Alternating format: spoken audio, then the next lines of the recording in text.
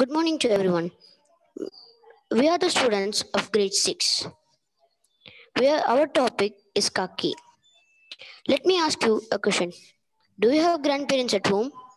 I am having grandparents at home. These are my grandparents. I love them so much. They pamper me a lot than my parents. I will be grateful to them throughout my life. Now over to you, Pep.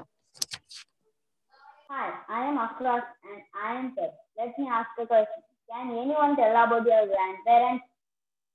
Let me address few words about my grandparents.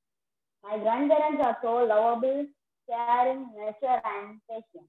My grandparents shared all their experience with me, what they had, eh, what enjoyment they had, and what they had enjoyed. I love my grandparents. Now over to you, look within. Hi, I'm Mariam Mufliha and I'm Look Within. Let me ask a question. Is the old age is similar to childhood?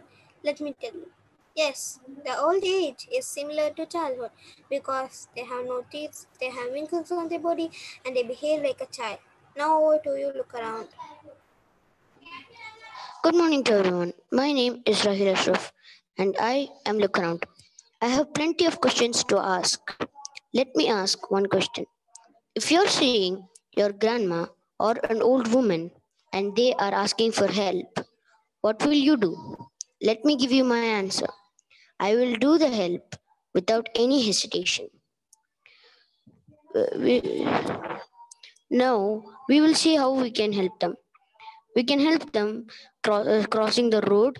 We can uh, helping. We can help them in groceries. We can help them in advanced technologies, and we can spend in time time with them. Now over to you. Look beyond.